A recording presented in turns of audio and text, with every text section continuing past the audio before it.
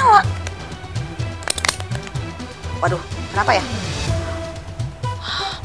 Al, Al, ini, ini kenapa ya? Aduh, ulala, Al, Al. What, what, what, what, kenapa ini handphone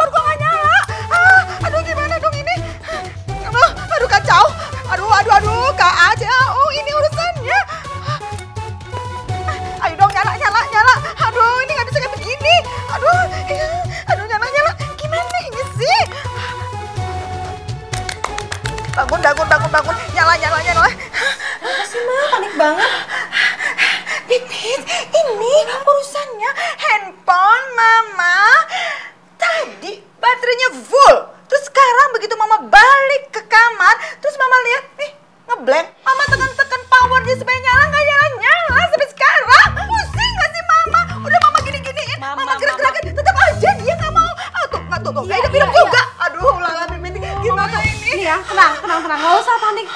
kayak ginian doang ya, Mah ya. Mama, aku cuma tinggal bilang sama Adadang. Aku bilang, Adadang, tolong dong beliin Mama handphone yang baru. Mau handphone apa? Handphone paling mahal. Handphone yang gak ada di Indonesia, yang di luar negeri. Atau handphone yang full berlian. Bisa dibeliin, gampang, tenang. Handphone kayak gini doang, tinggal buang, beli yang baru, lempar. Au!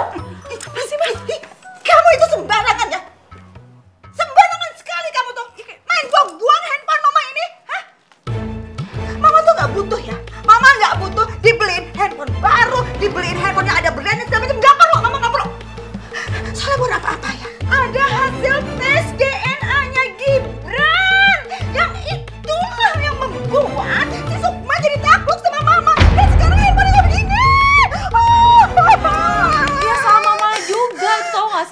Lagian ya Mah ya, Iya, Mama tuh kalau yang penting-penting itu jangan cuma disimpan di handphone. Jadi kalau cuma disimpan di handphone, jadi ribet kayak gini ya kan, Ma? Lagian ya, Ma, kalau Pipit juga tahu ada yang penting di handphone Mama, Pipit juga nggak akan tuh tadi tuh ya kalau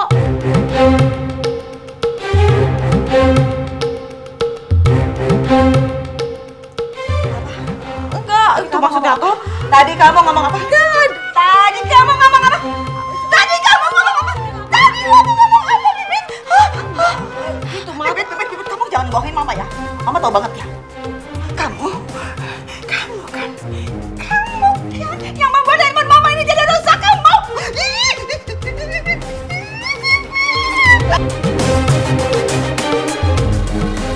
Nih, coba kamu lihat. Ini gadis-gadis yang luar biasa. Mereka cantik-cantik, terpelajar dan dari kalangan yang selevel sama Gibran. Dan mereka ini calon-calon pendamping hidupnya Gibran.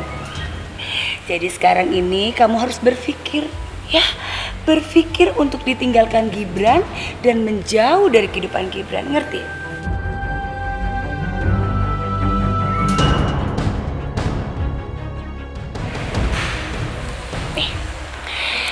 Saya sengaja taruh ini di tangan kamu biar kamu lihat tuh perempuan-perempuan. Kok lebih cantik dari saya ya? Jauh lebih cantik, terhormat, terpelajar, bahkan mereka itu kalangan yang semuanya punya orang tua, tidak seperti kamu dari kampung, nggak, ya nggak ngerti asal usulnya dari mana, nggak punya orang tua, ya kan? Jadi sekarang ini tolong ya, kamu tahu diri, ya. Bu, Ibu teh bawa lagi ya foto-foto ini? Apa-apaan maksud kamu? Hah? Kamu jangan cari gara-gara sama saya, ngerti kamu? Ibu punten pesannya Bu ya. Saya mah dari dulu teh nggak pernah cari gara-gara sama Ibu. Dan saya mah selalu menghormati Ibu sebagai calon mertua. Saya,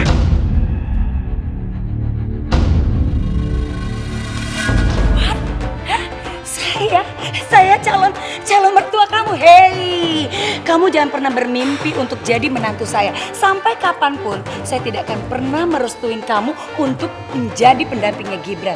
Jangan pernah mimpi.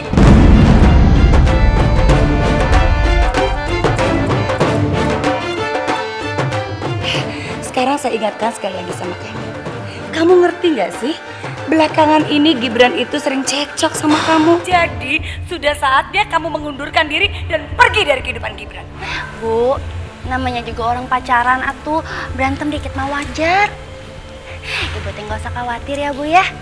Saya teh akan tunjukin sama Ibu kalau saya teh calon menantu idaman buat ibu. Dan ibu teh suatu saat nanti akan menjadi calon mertua saya.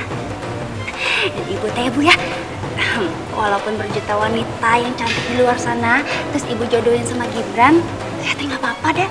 Karena saya teh yakin Gibran teh tetap cinta sama saya bu. Udah, udah, udah, udah. Diam.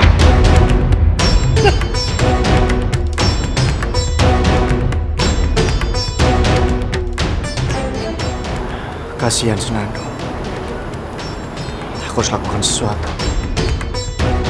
Semua orang dengan kayak gitu, kamu teh akan lebih mudah untuk mendekati mama kamu dan cari tahu apa yang mama Diana simpan.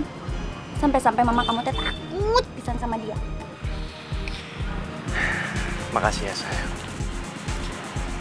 Kamu masih perhatian sama mama. Meskipun sekarang mama belum baik sama kamu. Yeay, mendingan dijutekin sekarang daripada nanti kalau udah nikah. Hmm, ayo. Iya juga ya. Iya. Iya, apaan sih kamu? Iya, makanya aku teh yakin ya kalau kita udah nikah, mama kamu tuh akan lebih sayang sama aku. Iya sayang. Mudah-mudahan mama dibukakan pintu hatinya. Supaya dia bisa melihat kebaikan kamu.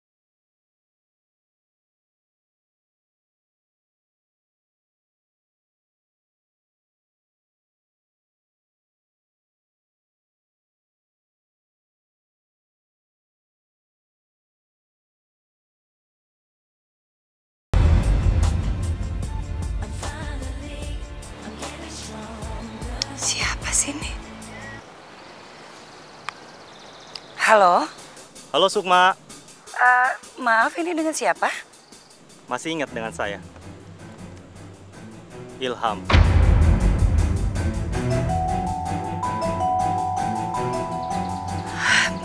Kamu, kamu jangan coba-coba bohong sama saya. Kamu bohong kan? Bagaimana? Dia sudah dewasa kan? Maksud kamu tuh siapa? Hah? Siapa?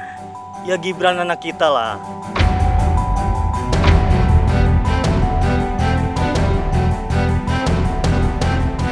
Kamu yakin bisa mencintai dia? Hmm? Mama rasa kamu tidak mencintai dia kan? Aku nggak punya pilihan. Anak di perutku ini memang nggak punya bapak. Aku nggak mau keluargaku malu karena ini semua.